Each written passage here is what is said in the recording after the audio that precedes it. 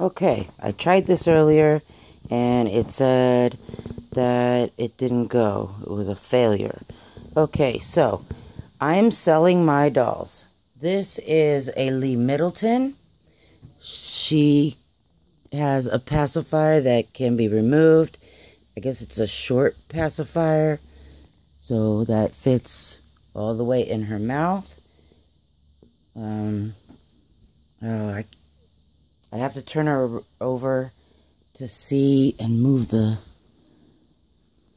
She's very floppy. She, um... She's very soft. I gotta put the phone down. To see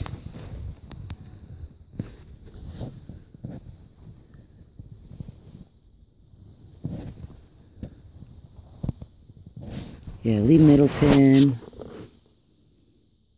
And I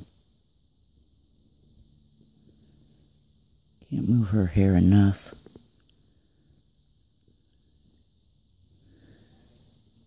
To get everything, but she's a very, very cuddly baby. She fits size three months.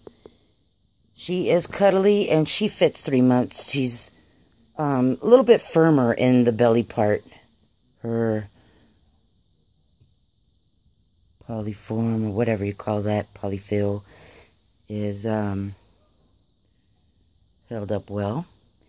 And she is a My Way Babies. I bought these years ago. Um,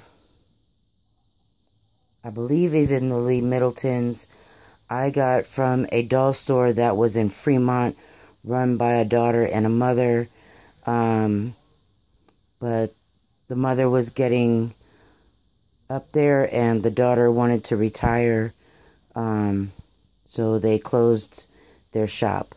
But I bought a lot of dolls and I didn't know they were called Reborn at that time. Um, we never discussed it. But what I've seen, these are all reborn babies. And she is more olive skin than what shows in this camera.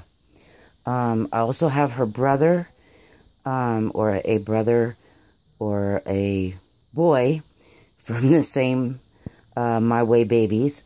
Um, but I'm not showing him right now because he is in a Winnie the Pooh pajama set and um, or pajamas, and I will not be giving any of my Winnie the Pooh clothes away. Um, but he is blonde hair, white. Um, I will have more to that I'm selling, but um, for right now, these are ones that I'm showing. I also have uh, two more um, Lee Middletons. Um, they take pacifiers just like her. They're just in different outfits, but the same body type, really. Um, I'm going to put my email on the link below. I hope that's how you do it.